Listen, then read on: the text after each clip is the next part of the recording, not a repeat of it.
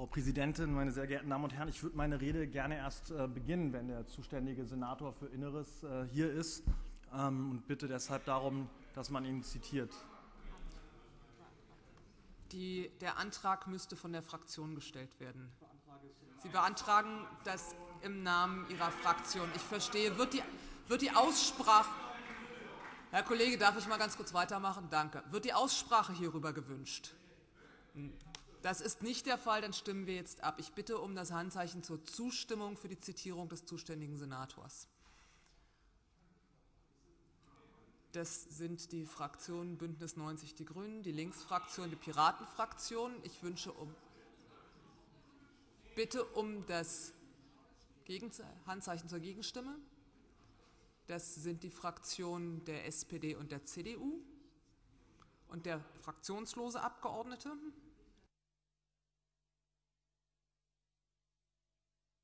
Enthaltungen bitte. Ich sehe eine Enthaltung. Einen Moment bitte.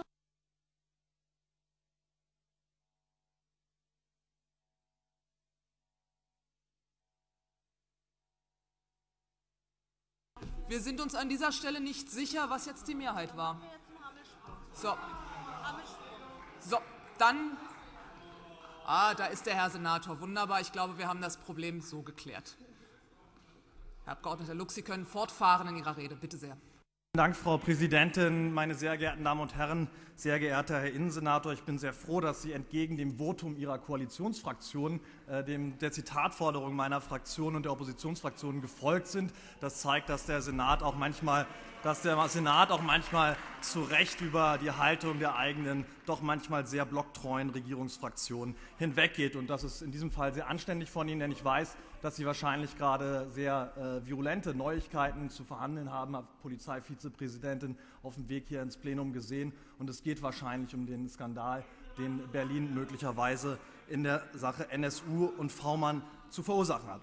Doch nun zur Sache. Der Prioritätenantrag der Piraten ist äh, ein sehr wichtiger Antrag auch für unsere Stadt, denn Kollege Dr. Weiß hat ja bereits darauf hingewiesen, dass Berlin der größte Adresshändler in der Bundesrepublik überhaupt ist. Und äh, wenn es stimmt, dass die SPD-Fraktion und auch der Innensenator Henkel, wie er sich in den Medien geäußert hat, da noch weitere Einschränkungen will, nämlich dass die Bürgerinnen und Bürger aktiv gefragt werden müssen, stimmen Sie zu, dass wir mit Ihren Adressdaten handeln. Dann ist es richtig und dann ist es auch richtig und gut so, dass wir als Parlament hier zu einer gemeinsamen Haltung kommen, meine Damen und Herren. Und deswegen wäre es aber auch nötig, dass wir das Recht auf informationelle Selbstbestimmung aus dem Volkszählungsurteil stammend, meine Daten gehören mir. Frag mich, wenn du was mit ihnen tun willst, wenn du sie erheben willst, wenn du sie verarbeiten willst, dass wir dies ernst nehmen. Die Daten gehören den Bürgerinnen und Bürgern und wir als Staat haben sorgsam mit ihnen umzugehen. Und man kann nicht einfach mal so, nur weil spiele ich an auf die Bundestagsbeschlussfassung, weil ein EM-Spiel läuft, in einer Hoppla-Hopp-Sitzung mal beschließen, ach, wann dafür gewerbliche Zwecke darf man die Adressdaten verkaufen, ohne dass die Bürgerin, ohne dass der Bürger zustimmen muss. So geht es nicht, meine Damen und Herren. Und deswegen ich war erstaunt, aber sehr erfreut, dass der Senat, der regierende Bürgermeister sogar, aber auch Bürgermeister in Senator Henkel in den nächsten Tagen gesagt haben, sie seien entsetzt über diese Regelung. Sie wünschten sich, dass das geändert wird und sie werden im Bundesrat alles dafür tun, damit das erreicht wird. Und die Ursprungs, Ursprungsfassung des Gesetzes, nämlich die Bürgerin, die Berlinerin, der Berliner wird gefragt, ob die Daten weitergehandelt werden dürfen, dass diese wieder in Kraft treten soll. Und das ist gemeinsames Anliegen. Ich war aber trotzdem überrascht, denn Berlin ist einer der größten Profiteure. 1,8 Millionen Datensätze, die im letzten Jahr verkauft worden sind, die abgefragt worden sind. Und man kann doch nicht sich wieder bar jeder eigenen Verantwortung zu diesem Thema bekennen. Es liegt schon wieder so nah, dass es, man beklagt einen Zustand, profitiert aber gleichzeitig von ihm. Und hier glaube ich, ist es sinnvoll, dass wir heute und jetzt den Piratenantrag zustimmen, um nämlich zu sagen, deswegen wollen wir dieses Bekenntnis von Ihnen hier. Und sehr geehrter Herr Kollege Klein-Eidam, ich fände es sinnvoll, wenn wir über die formalen Unzulänglichkeiten des Antrags hinwegsehen würden. Er ist trotzdem beschlussfähig und man weiß, was gemeint ist. Und es ist sinnvoll, ihn jetzt zu bekräftigen, weil ich habe hab Sie nicht verstanden. Es ist doch im Prinzip dem Tenor zu entnehmen, worauf die Piratenfraktion hinaus will.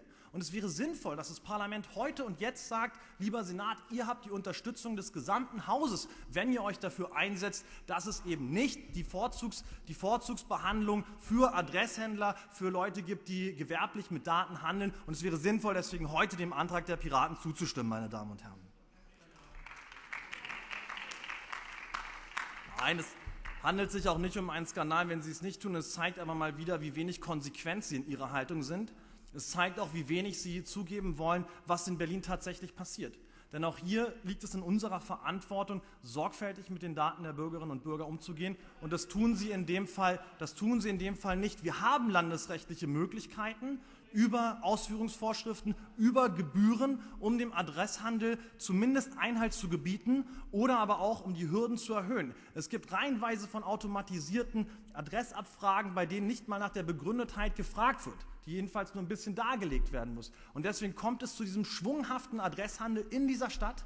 Mehrere, über eine Million Datenabfragen pro Jahr, Tendenz steigend. Und deswegen ist es ganz klar und sinnvoll, dass wir hier dem Antrag zustimmen, den Datenhandel einzudämmen. Es war ein Skandal in der Sommerpause, als bekannt geworden ist, vor allen Dingen, um welchen Umständen, in welchen Umständen dieses Gesetz mal so mir nichts, dir nichts sagt. Hier, wird, hier darf schwunghaft mit äh, Daten der Bürgerinnen und Bürger gehandelt werden. Und deswegen ist es richtig, heute, hier und jetzt zu sagen, wir brauchen dazu keine weitere Ausschussberatung mehr. Der Tenor ist völlig klar. Wir können diesen Antrag beschließen und dann tun wir das auch. Dankeschön für die Aufmerksamkeit.